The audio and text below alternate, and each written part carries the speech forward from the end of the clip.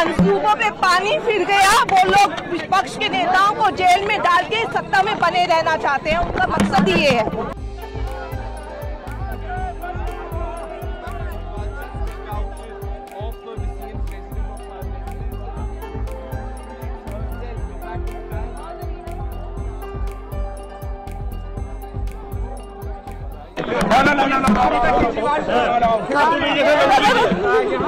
भैया भैया देखिए मिठाई खिलाई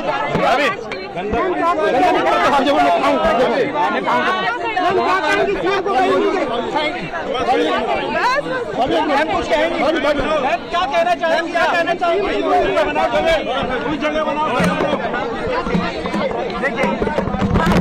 मंसूबों पे पानी फिर गया। वो लोग विपक्ष के नेताओं को जेल में डाल के सत्ता में बने रहना चाहते हैं। उनका मकसद ही ये है।